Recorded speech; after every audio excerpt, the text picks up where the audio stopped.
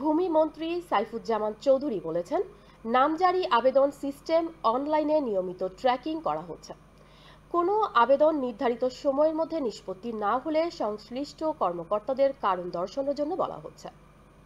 নিয়মিত মনিটরিংয়ের কারণে নামজারি সংক্রান্ত জটিলতা এখন বহুলাংশে কমে এসেছে। বেসরকারি উন্নয়ন সংস্থা ন্যাশনাল চর অ্যালায়েন্স ও সমন্বয় উদ্যোগে রাজধানীর বিশ্ব সাহিত্য কেন্দ্রে ভূমি বিষয়ক আইন ও নীতি চরাঞ্চলের বাস্তবতা। শীর্ষক জাতীয় সংলাপে প্রধান অতিথির বক্তব্যে ভূমিমন্ত্রী এসব কথা বলেন।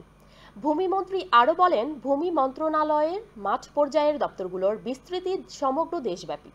কিছু দপ্তরে আকস্মিক পরিদর্শনে হয়তো কিছু সময়ের জন্য নির্দিষ্ট স্থানে পরিস্থিতির উন্নয়ন হয়। তবে সার্বিকভাবে দীর্ঘমেয়াদে কোনো ইতিবাচক প্রভাব পড়ে না। এজন্য আমরা টেকসই সিস্টেম উন্নয়নে জোর দিয়েছি। সিস্টেম উন্নয়ন হয়ে গেলে সিস্টেমের কারণেই দুর্নীতির সুযোগ কমে যাবে। সংলাপে অংশ নেন ভূমি এবং চরাঞ্চলের মানুষ নিয়ে কাজ করা বিভিন্ন বেসরকারি উন্নয়ন সংস্থার নেতারা। চরাঞ্চলের বসবাসরত জনমানুষের প্রতিনিধি সহ বিভিন্ন অংশীজন।